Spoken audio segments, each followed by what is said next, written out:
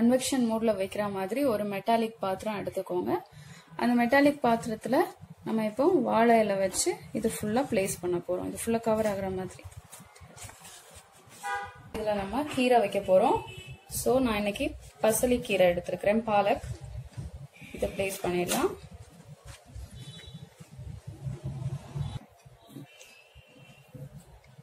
நம்ம சக்கரவள்ளி கிழங்கு. ஸ்வீட் பொட்டேட்டோ இருக்கு இல்லையா? ஸ்வீட் பொட்டேட்டோ சக்கரவள்ளி கிழங்கு இது வைக்க போறோம். இது ஒரு லேயர் ஃபர்ஸ்ட் வந்து பனானா லீஃப் நெக்ஸ்ட் என்னன்னா கேரட்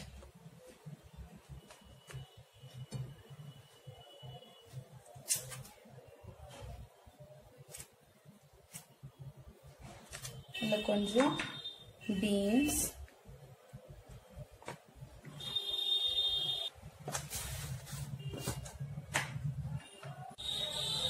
பீன்ஸ் போட்டதுக்கு அப்புறமா கொஞ்சம் சால்ட் இதுக்கு மேலே சிக்கன்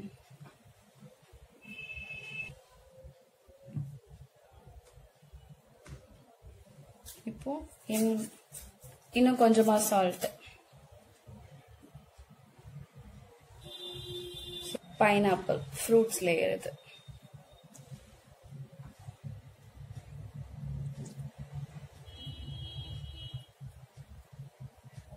கட்டியா எடுத்த தேங்காய் பால். தேங்காய் பால் ரொம்ப கொஞ்சம் திக்கான தேங்காய் பால் சேர்த்துக்க போறோம்.